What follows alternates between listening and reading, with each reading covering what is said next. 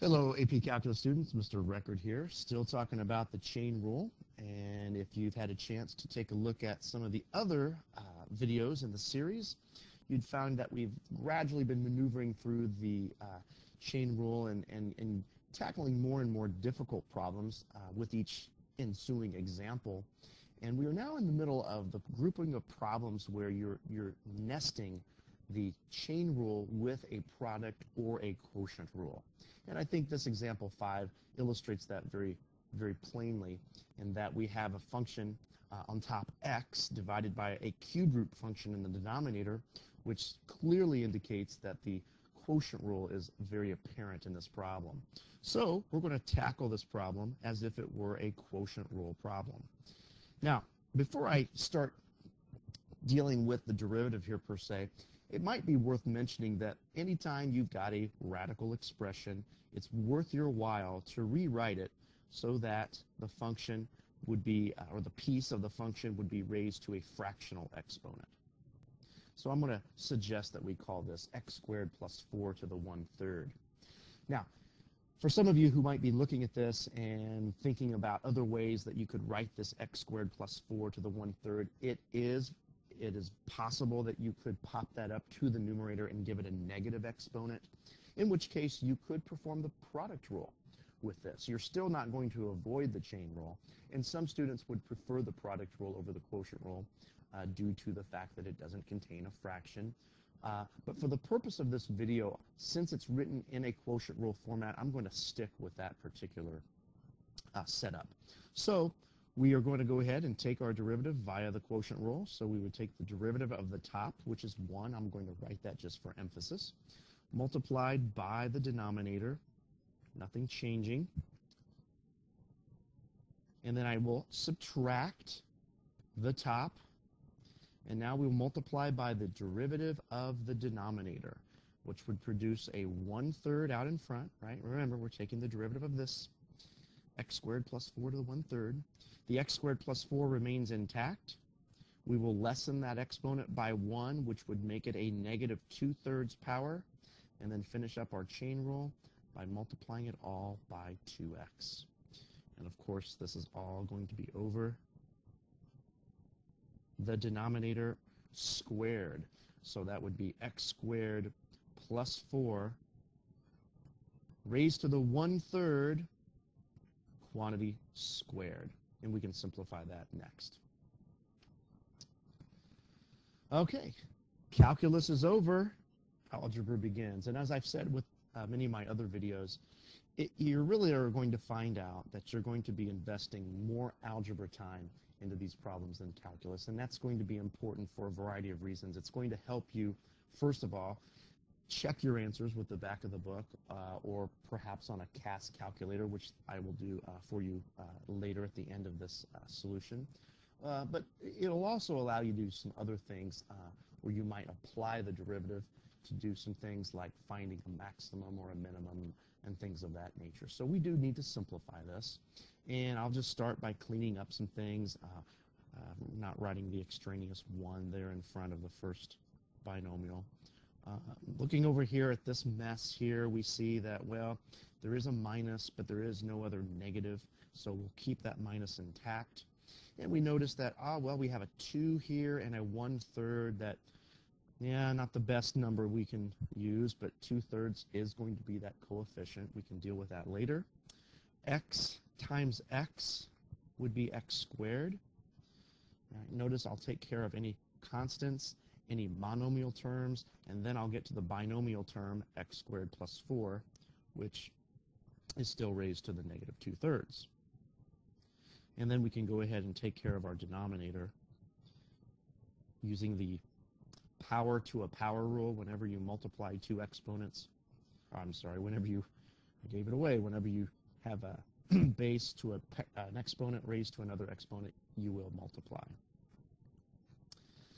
Okay, still a couple of things wrong with this solution. It is looking better, but we have uh, really two issues going on. First of all, we have a fraction located within a fraction, right, which makes, makes this whole thing called a complex fraction, which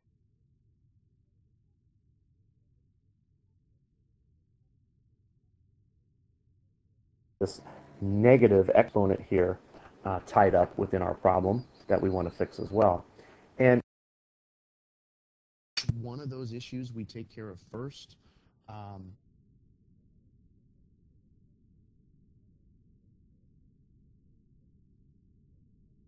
perhaps take care of the negative exponent issue. This negative exponent issue is very similar to the way that I did a previous example in that we look to see what is, is that we can factor out of the numerator. What is our greatest common factor? And since there is no uh, term of, of any sort in front of this x squared plus 4 binomial here, we know that he's kind of standing alone and that he's got his partner over here in x squared plus 4 binomial that is the same. So we should be able to factor out some power of x squared plus 4. We just have to decide what that power is. And as I've said before, you just take a look at the exponents and you find out whichever is the smaller. If you had, by some chance, three of those binomials, then you would look at the exponents and say which one is the smallest. So in this case, the negative two-thirds is going to come out in front.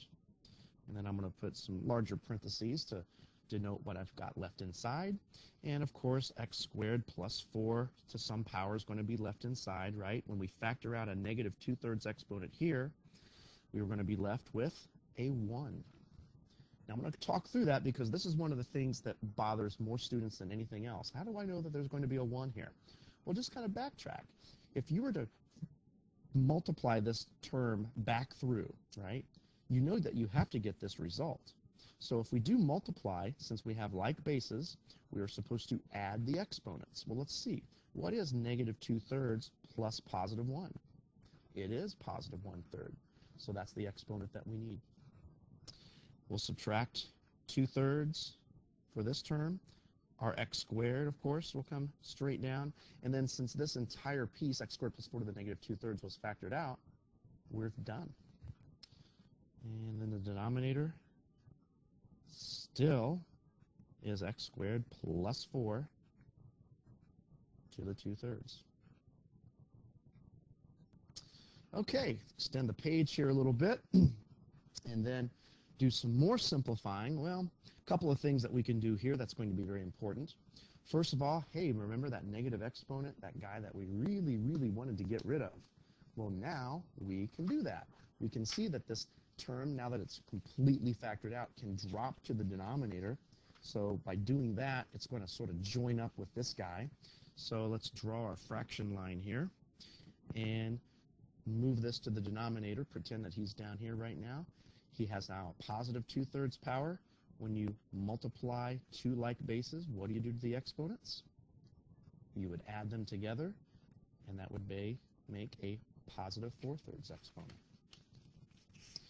Now you've got this numerator here that we're still uh, looking to simplify a bit, and we find that, well, an x squared and a minus two-thirds x squared would make for a one-third x squared, and then our plus 4 just drops on in. But again, we're still sort of violating that whole, hey, we have a complex fraction rule here. We'd like to fix that. So best way to do that, I can illustrate that with some different color, is to multiply the top and the bottom of this fraction by some value that will clear away any other fraction. And since 3 is the only denominator we see, that would be a great choice. Multiply the top and the bottom by 3. That's essentially multiplying by 1. And what do we get? Well, the 3 distributes through, and we would have an x squared plus 12, right? 3 times 4 would be 12. And then the denominator would be 3 times the quantity x squared plus 4 to the 4 thirds. And you'll notice that this doesn't violate any negative exponent rules. It has all the complex fractions pretty much cleaned up. And uh, it's pretty much in a nice form. Um, I mentioned before that we were going to take a look at this with a CAS calculator, and sometimes you know, a CAS calculator can be a little bit uh, unpredictable as to what final form it's going to produce. But let's take a look here. I'm using uh, the TI-Nspire CX here, And I'm going to go ahead and in my scratch pad do the shortcut for a derivative, which is shift minus the derivative with respect to x.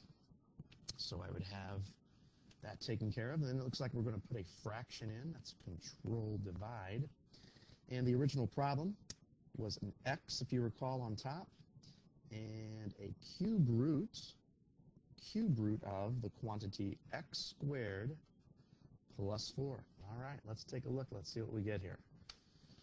Well, if you compare this, x squared plus 12 on top over 3 quantity x squared plus 4 to the 4 thirds on bottom, looks like the CAS calculator did a pretty good job of giving us exactly what we simplified.